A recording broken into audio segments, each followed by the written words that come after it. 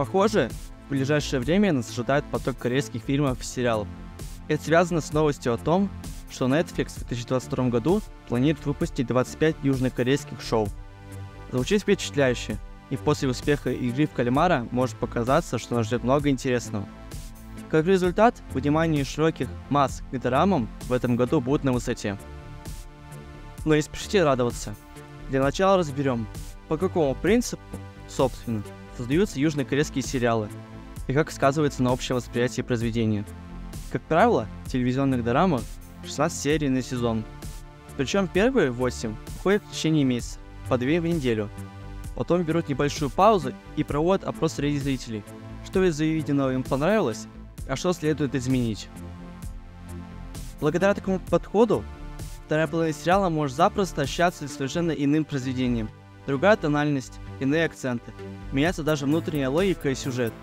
Может задать встречный вопрос, а чем тогда этот подход отличается от стандартного, когда сериалы выходят по сезону каждый год?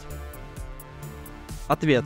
Во времени. Там, где американские сериалы имеют больше срок производства, от нескольких месяцев до полутора лет на сезон, корейские снимаются буквально за считанные недели. И между показом первой части сезона и второй проходит меньше месяца. Для примера возьмем «Лучше звоните Солу». Авторы сериала напрямую говорят, мы будем снимать новую серию тогда, когда напишем крепкий сценарий, проработав все варианты развития сюжета. И между пятым и шестым сезоном пройдет почти два года.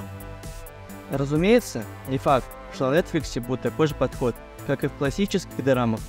Но на волне популярности корейских шоу обычный зритель, решивший самостоятельно знакомиться с ними, может столкнуться с вот таким вот эффектом. Первая половина сериала крутая, вторая совсем никакая. Ну и ответим на последний вопрос. Что общего между корейскими драмами и Звездными войнами?